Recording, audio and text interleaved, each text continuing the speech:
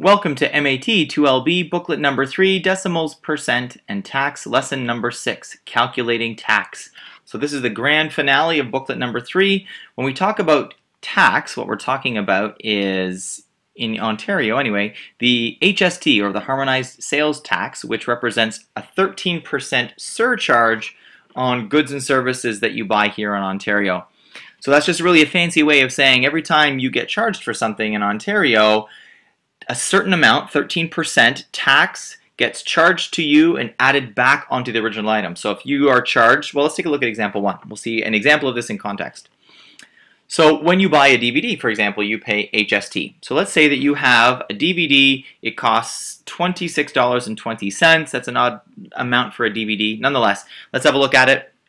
If we wanted to calculate how much HST or tax is going to be applied to that DVD, we start by converting our percent, which is 13%, into a decimal by dividing by 100. We've done this in a couple of lessons now, and dividing 13 by 100 gives us 0 decimal 1 3.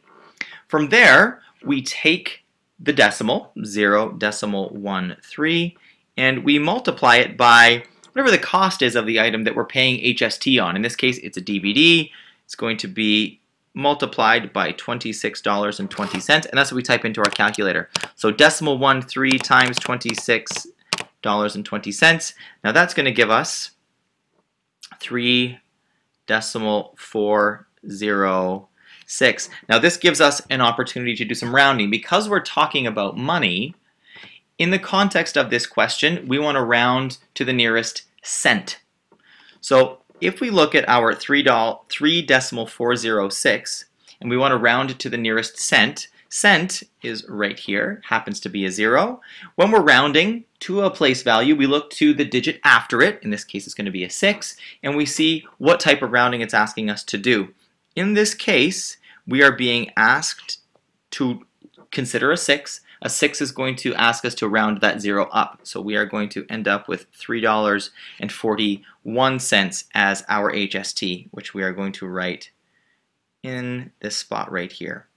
So the HST on a DVD that costs $26.20 is $3.41. That's 13% of 26.20. Okay, let's try calculating some HST on a couple other items. We'll try one more together and then you can try one too. All right, let's find the HST on a t-shirt that costs $15.50.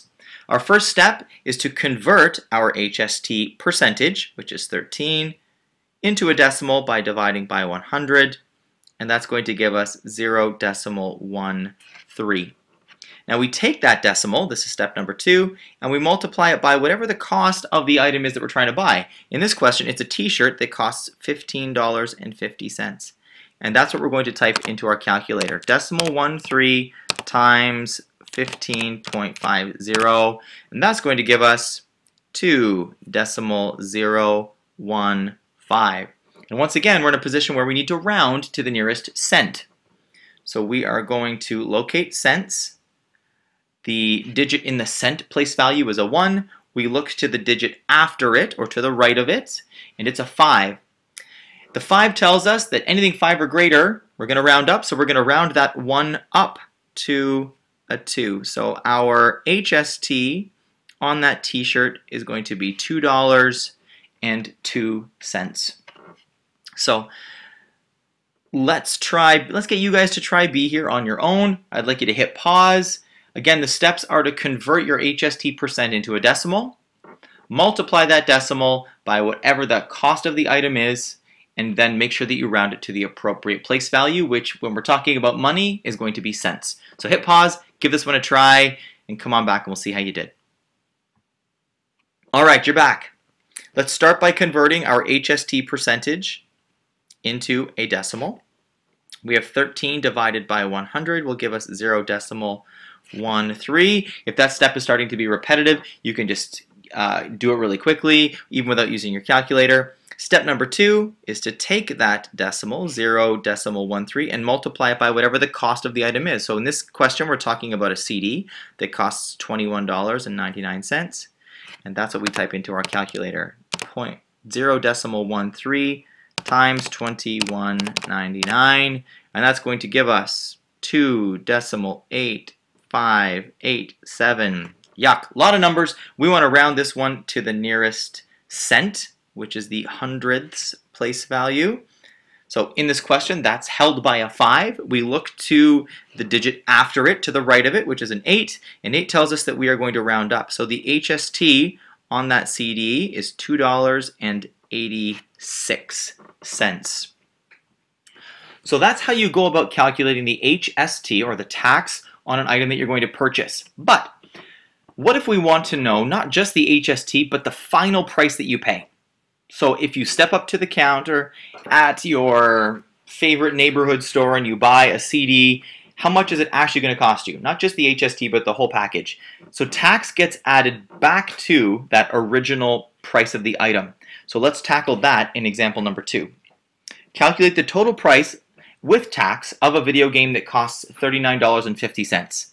First step's the same as always. If we're trying to calculate the HST, we want to take the HST percentage, which is 13, divide it by 100, which gives us 0 decimal 13. Step number two, we're trying to figure out the HST now. We take that decimal, 0 decimal 13, multiply it by the price of the item. We're talking in this question about a video game that costs $39.50. That's what we type into the calculator to find HST. So 0 decimal 13 times $39.50, and that gives us 5 decimal 135. So need to do some rounding. The place value that we want to round to is held by a 3. We're going to look to the number after it or to the right of it. It is a 5. It tells us that we are going to round that value up, so that is going to become $5 and 14 cents. All right, we're looking good. Now the new part. We're going to add the tax back to the original cost. So let's write this tax in. That's going to be $5.14. And we are going to now add it to the original price of the video game, which is $39.50. And 50 cents. And when we add those two numbers together, that's what we're going to type into our calculator. 5 decimal 1 4 plus $39.50.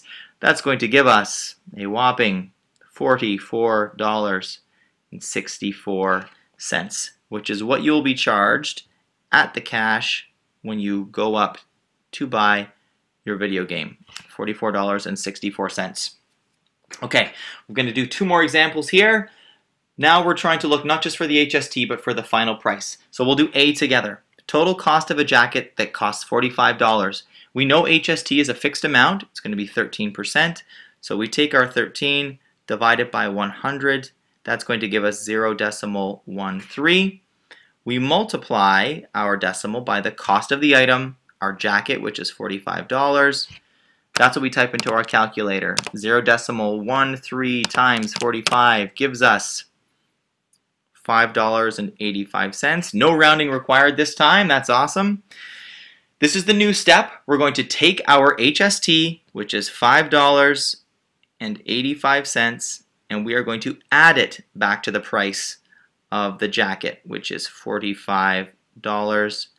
That we type into our calculator, $5.85 plus $45 gives us a final tally of $50.85 for our jacket. Okay, Let's try B. I'm going to get you to hit pause and try this one on your own. We're after a set of shoes that cost $95.88. When you think you know the total cost of the shoes with tax, come on back. We'll see how you did. Okay, grand finale. We are going to start by taking our 13% and expressing it as a decimal. We do that by dividing by 100, giving us 0 decimal 13 we take the decimal and multiply it by whatever the cost of the item is we're going to buy, which is $95.88 for the shoes. This we are going to type into our calculator, and we get $12 followed by 4, 6, 4, 4. Okay, we need to round this time, so we're looking for the hundredths or cent place value. That's held by a 6. We look to the number after it, which is a 4.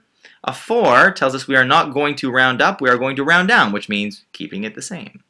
We have $12.46 HST. Last step now is to take our HST, which is $12.46, and add it back to the cost of the shoes. And that was $95.88.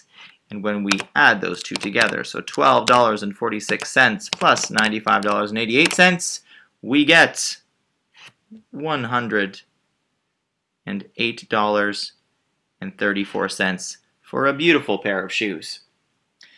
So this is the end of lesson number six, and it's the last lesson in this unit.